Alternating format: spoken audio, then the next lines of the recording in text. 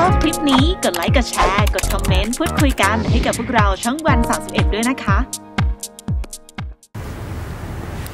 ขอบคุณเจ้าพี่แสงโชตกับเจ้าพี่เมลุลีมากนะคะ ที่อุตส่าห์มาแต่เช้า ไม่เป็นไรหรอกจ้าน้องดารา เดี๋ยวเย็นเนี้ยพวกเราก็ต้องเดินทางไปอเมริกาแล้ว จัดการเรื่องให้เสร็จสักก็ดีจ้ะที่สนุกพงษ์ด้วยเหรอจ๊ะ ครับคุณอา แต่ผมไม่อยากไปเลย เป็นห่วงกอย่า แล้วก็เป็นห่วงคุณอาด้วยครับ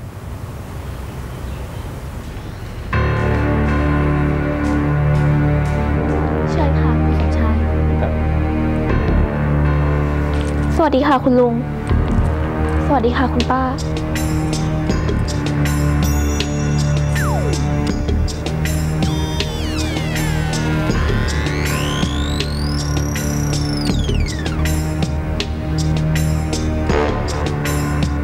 คนก็มากันครบแล้ว เชิญเปิดพินัยกรรมได้เลยค่ะ ได้ครับ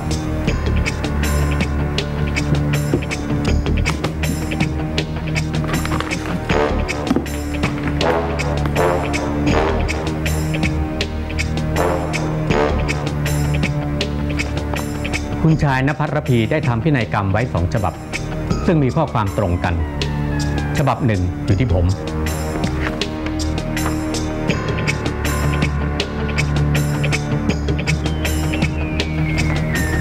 อีกฉบับ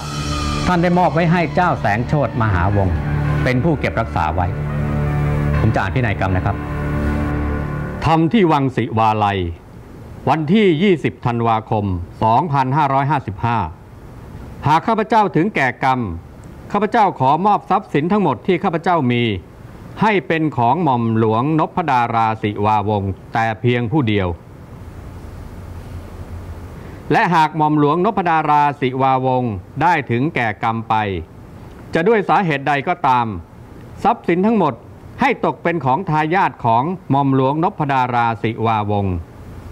ที่มีหลักฐานการตรวจสารพันธุกรรมมายืนยันว่าเป็นทายาทโดยสายเลือดที่แท้จริงเท่านั้น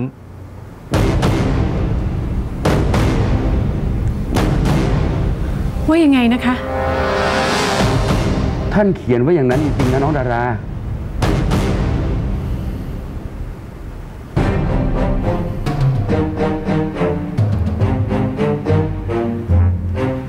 ผมอ่านต่อเลยครับ นอกเสียจากว่า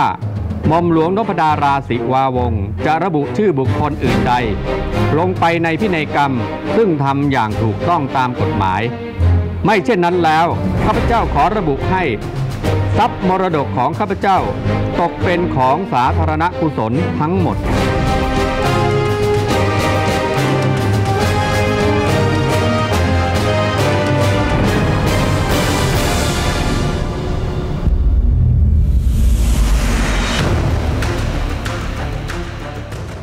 จะดูแลเธอจนกว่า